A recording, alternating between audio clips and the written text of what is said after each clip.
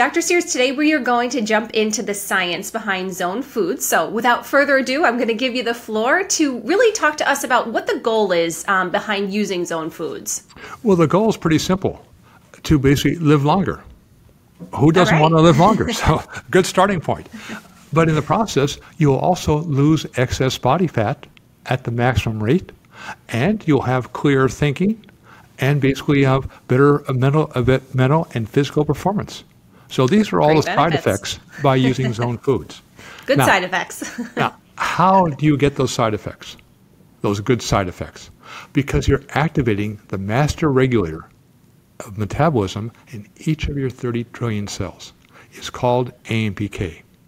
And if you can keep AMPK in a zone, not too high, but not too low, then all those things are a consequence. Because what you're doing is now reprogramming your metabolism. And it's metabolism that keeps us alive. It's metabolism that keeps us healthy.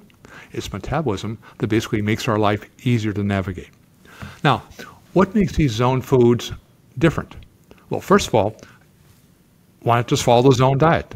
But life gets in the way. You've had your own experience doing studies at Harvard, diet mm-hmm. studies. People are very compliant for the first couple of weeks, and then life gets in the way. And then you say, you beg, uh, pay, say, please come in and just come in for a weighing. So we had to say, this is not going to change.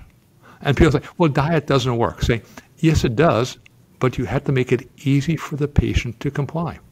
So we uh, are using two different technologies to make these zone foods cut that Gordian knot of saying it's hard to do it. The first technology is called molecular baking.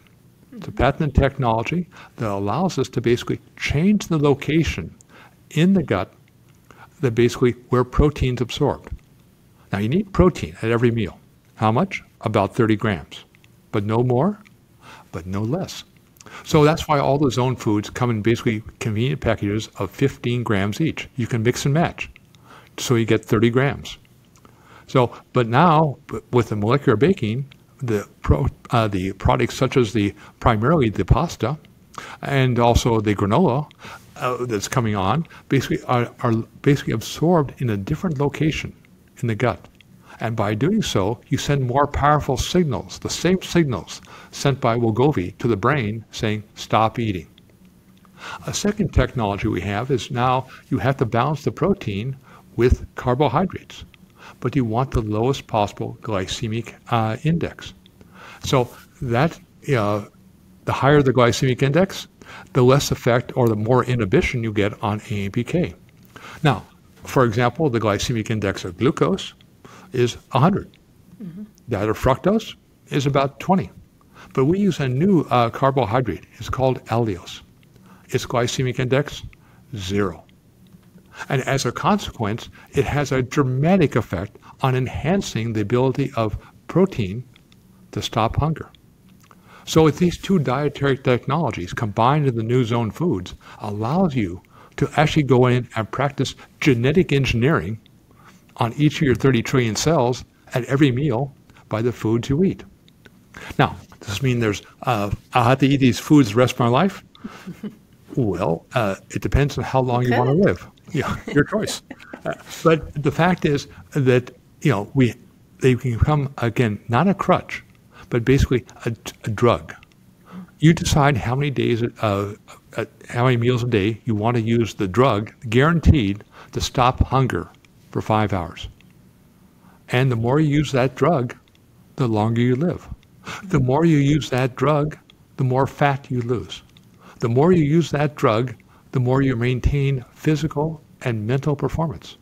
It's like, again, Wegovy or Ozempic. What happens when you stop taking the drug? Hunger returns. So really the zone foods are our dietary solution to mm-hmm. freedom from hunger. Yep. Freedom from hunger love- using the foods you like to eat. They're mm-hmm. fun to eat, easy to make, and incredibly easy to clean up. Absolutely. And what I love the most about them is they're like easy shortcuts. You know, it's like you know that if you're grabbing it, you've got something healthy with protein, but it's also quick, um, which I think as a mom is perfect. Uh, the one thing I did want to mention too, Dr. Sears, is that I know that we're talking about genetic engineering within the body, but molecular baking with the foods is that this is still a very natural process, this molecular baking. So it's not like we're manipulating things in the lab um, or anything like that. It's a, it's a very natural process with the way that these foods are made. Yes, uh, the process is similar to making a loaf of bread.